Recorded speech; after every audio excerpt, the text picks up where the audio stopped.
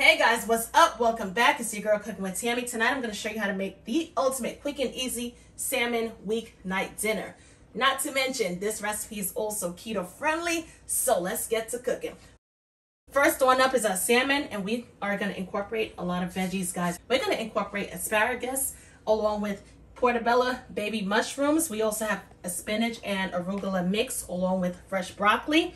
And our seasonings, we're going to be using dried oregano along with Italian seasoning, paprika, onion powder, garlic powder, garlic and herb seasoning along with ground black pepper, a little pinch of bouillon, whatever you prefer. Since we're rocking out with salmon, you could definitely use seafood, bouillon, or even chicken along with Italian dressing. Use your favorite brands.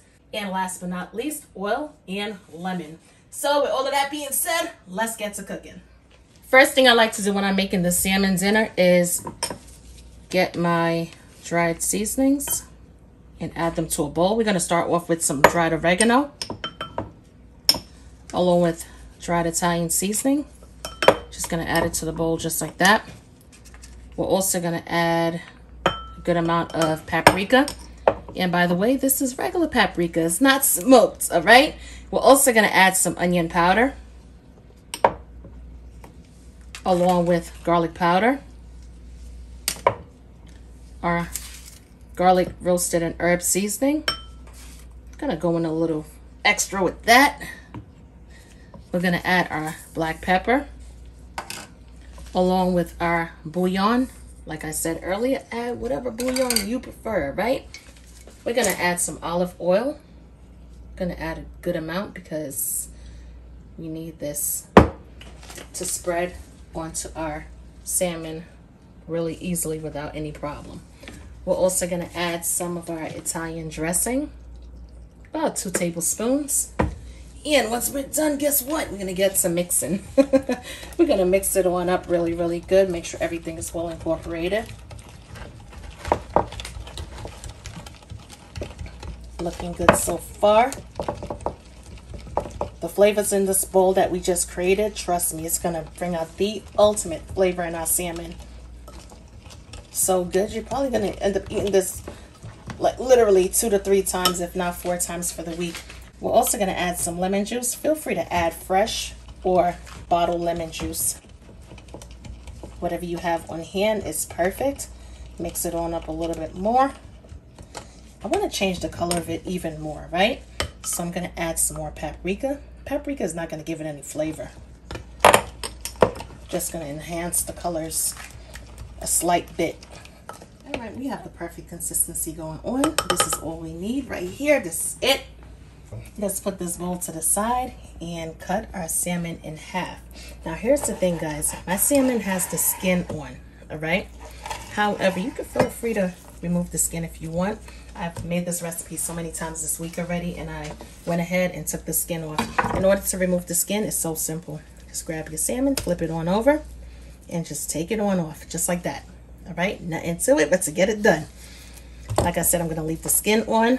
No particular reason just no particular reason whatsoever just personal preference. I want to perforate the salmon just a bit. Because I want all of those flavors that we created in our bowl to seep into the salmon. Just like that. The other thing is this recipe guys.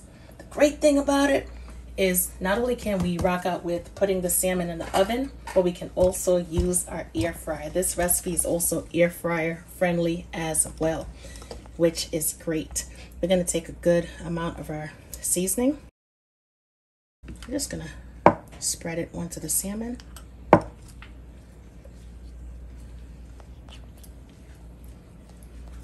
If you want to go ahead and use a basting brush, you can definitely do that as well whatever works. All right, whatever works to get the job done is what you are gonna do.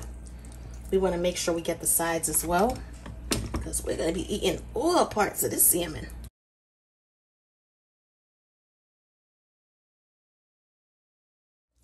In the meanwhile, I have my baking sheet lined with aluminum foil.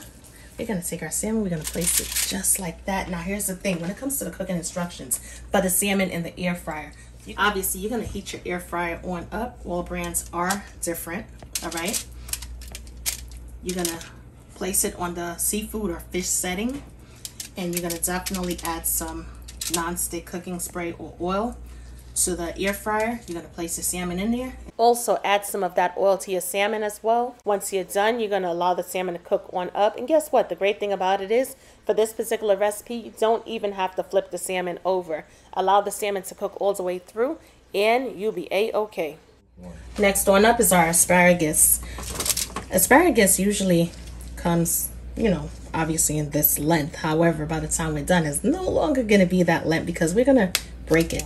We're going to snap it on off simply because if you don't, let's say if you cook the whole thing, you're going to be chewing all night, all right? because that this part right here is really woody and best thing to do is just take it on off. It has a natural breaking point so quick, so easy, so simple. Of course, make sure you wash all of your veggies first before consumption. All right, we're gonna toss this into the garbage because obviously this is not needed. Using either the same brush or a different brush, make sure it's washed and cleaned. Good to go. So we're gonna add some to our veggies.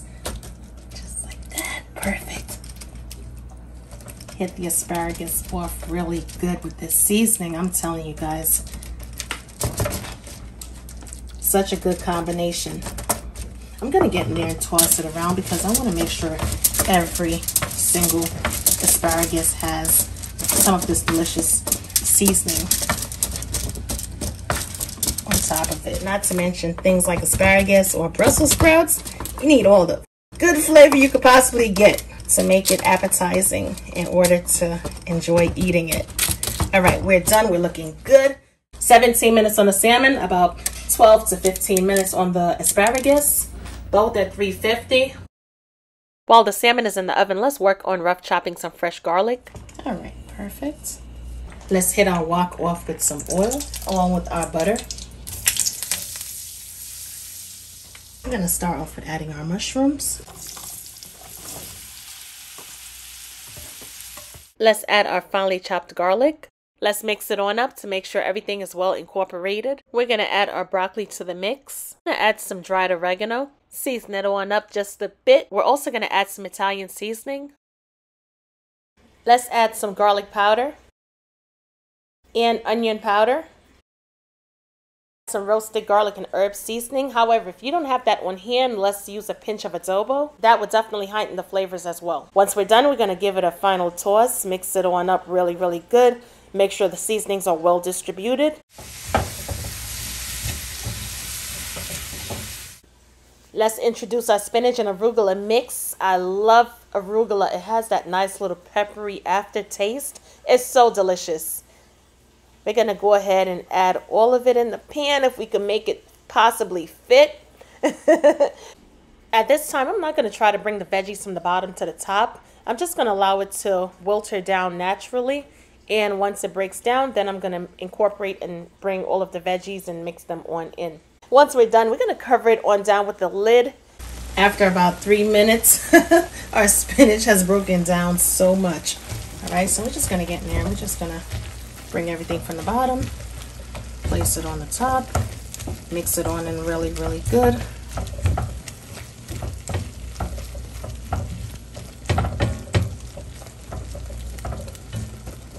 And our veggies are done. We're going to start off with adding our stir-fried veggies along with our perfectly seasoned asparagus. How do we know when our asparagus is cooked through properly? Once it starts to decrease in size, that would be my indication, but should be your indication that the asparagus is ready to be removed from the oven. How do we know when our salmon is perfectly cooked? Touch the thickest part of the salmon, and if it's nice and firm, then guess what? Your salmon is cooked and ready to be served. Our plate is ready to be eaten and enjoyed. As always, I'm your girl cooking with Tammy. Let me know if you want me to keep these keto-friendly recipes coming. Don't forget to get your seasonings at cookingwithtammy.shop. As always, I'm your girl cooking with Tammy, and I will definitely catch you in another video. Talk to you later. Bye, guys.